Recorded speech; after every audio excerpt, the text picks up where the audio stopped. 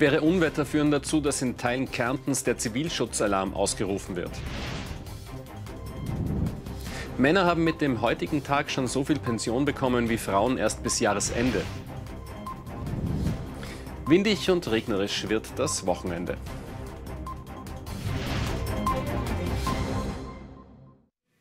Schönen guten Abend, herzlich willkommen bei ORF3 aktuell am Abend. Oft ärgert man sich ja, wenn der Wetterbericht daneben liegt, aber in diesem Fall wäre es wohl doch besser so gewesen. Leider sind die Prognosen der Meteorologen richtig gewesen. Starker Regen sorgt vor allem im Süden Kärntens für Chaos. Die Feuerwehren sind aktuell im Dauereinsatz. Ende ist so schnell keines in Sicht. Für die Ortschaft Leubach im Bezirk Völkermarkt und für St. Paul im Lavantal ist der Zivilschutzalarm ausgerufen worden.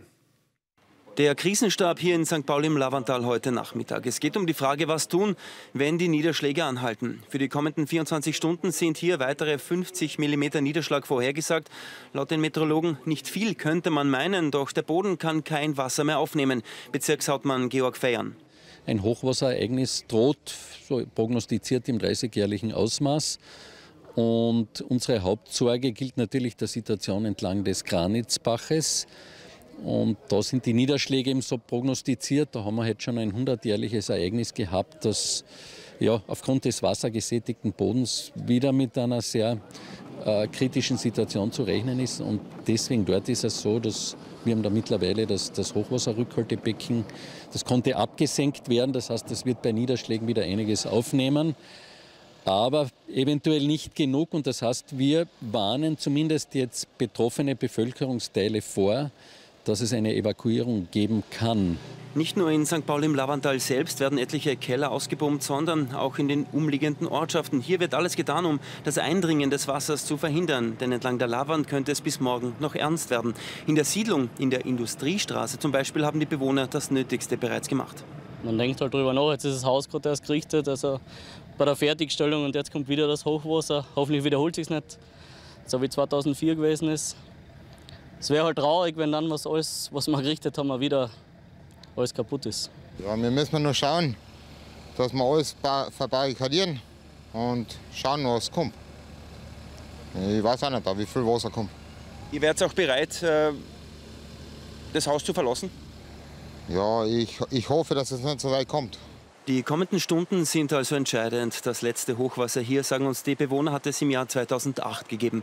In St. Paul im Lavantal wird jetzt am Abend auch Verstärkung aus anderen Bezirken Kärntens erwartet, unter anderem 30 Mann der Pioniere des Bundesheeres. Nicht nur Kärnten, auch die Steiermark ist von den Unwettern betroffen. Allen voran die Bezirke Deutschlandsberg, Leibniz und Südoststeiermark. Auch für sie wurde eine Zivilschutzwarnung ausgegeben.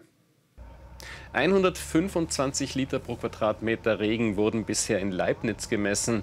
111 waren es in Deutschlandsberg. Die Böden sind bereits nass und können kein weiteres Wasser mehr aufnehmen. Murenabgänge und Überschwemmungen sind die Folge. Zeitweise waren heute außerdem bis zu 4000 Haushalte ohne Strom. Die Einsatzkräfte sind seit einem Tag praktisch im Dauereinsatz. Eine Pause wird es für sie in der kommenden Nacht nicht geben. Erst morgen Mittag soll der Regen langsam weniger werden. Und auch in Slowenien haben starke Regenfälle zu Hochwassern geführt. Dabei sind drei Menschen gestorben. Für den Norden des Landes ist die höchste Alarmstufe ausgerufen worden. Wir kommen jetzt nach Vorarlberg. Dort sind ja am Mittwoch mehrere Büros der Krankenhausbetriebsgesellschaft KHBG durchsucht und fünf Personen verhaftet worden.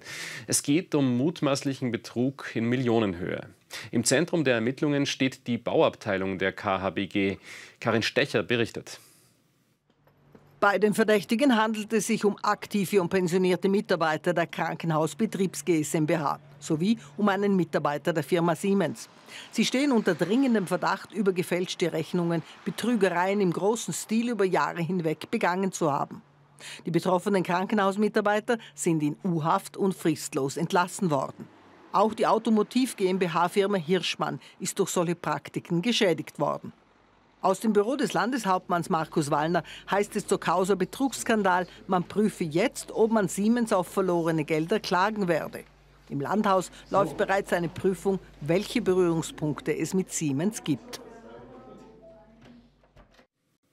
Heute ist der sogenannte Equal Pension Day. Das ist jener Stichtag, an dem Männer bereits so viel Pension bekommen haben wie Frauen erst bis zum Jahresende.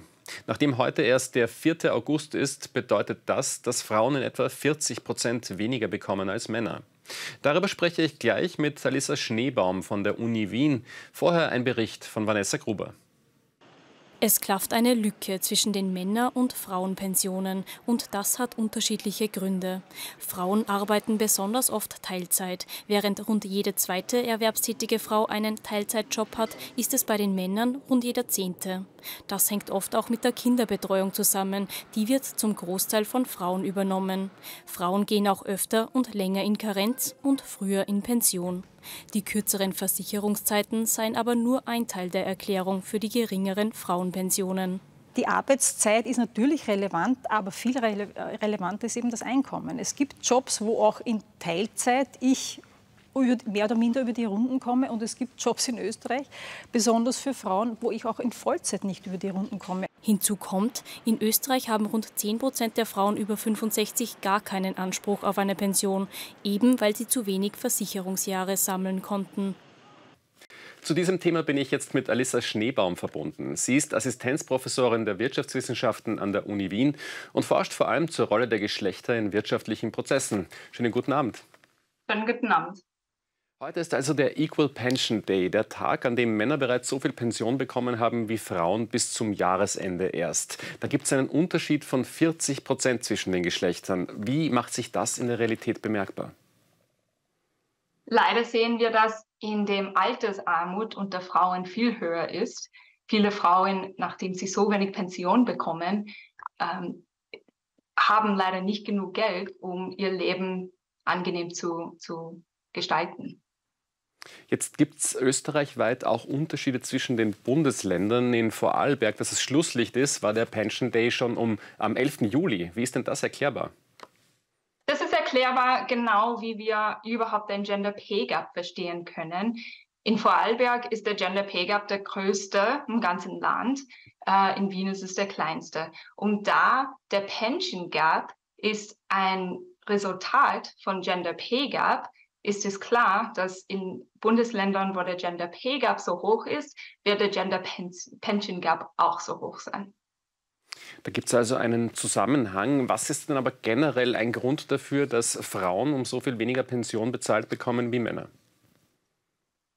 Es ist nicht nur ein, eine Verbindung, es ist eine sehr, sehr starke Verbindung. Der Grund, der Hauptgrund, warum Frauen so viel weniger Pension bekommen, ist genau, weil im Laufe ihres Lebens hat eine Frau viel weniger bezahlte Arbeit geleistet. Dafür hat sie viel, viel mehr unbezahlte Arbeit geleistet. Diese unbezahlte Arbeit wird aber nicht berücksichtigt in ihrer Pension. Wenn ein Leben lang die Frau weniger äh, bezahlte Arbeit gemacht hat, äh, wird sie dann weniger Pension bekommen. Zu dieser unbezahlten Arbeit zählt unter anderem oft auch die Kinderbetreuung. Was kann denn unternommen werden, damit sich künftig auch mehr Männer darum kümmern? Ja, also das Hauptding, was sich ändern muss, muss, ist auf jeden Fall geänderte soziale Normen und soziale Regeln. Österreich ist ziemlich weit hinten damit, ähm, aber viele junge Männer wollen eigentlich in Karenz sein. Sie wollen mehr Zeit mit ihren Kindern verbringen, haben oft aber das Gefühl oder den Eindruck oder sogar die Information, dass das nicht in Ordnung ist, das ist bei ihrer Firma nicht okay oder von ihrem sozialen Umfeld, dass das nicht in Ordnung ist.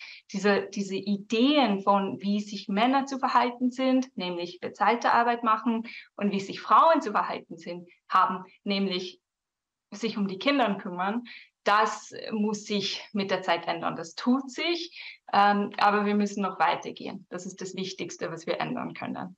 Da braucht es also ein gesellschaftliches Umdenken. Aber was kann auch die Politik tun? Gibt es etwa genügend Kinderbetreuungsplätze aktuell?